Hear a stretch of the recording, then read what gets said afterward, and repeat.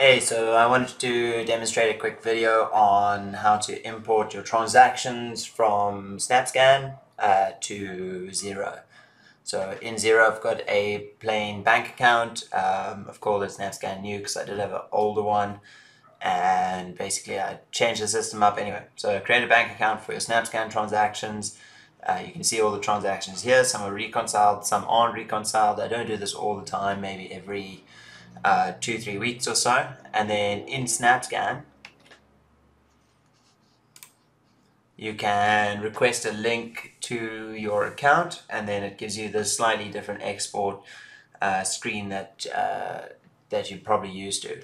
So then I select the dates um, that are that haven't been imported yet and then um, basically I can download the CSV file uh, with all the transactions in it. Once I've got that, back to Xero. go to manage account, import a statement. Okay, so I selected the bank statement or the CSV file from my desktop. And I'm going to select import. And it's automatically picked it up. And from what I can do now is just go through and start reconciling the transactions. Cool. If you enjoyed the video, make sure to check out the other videos are available.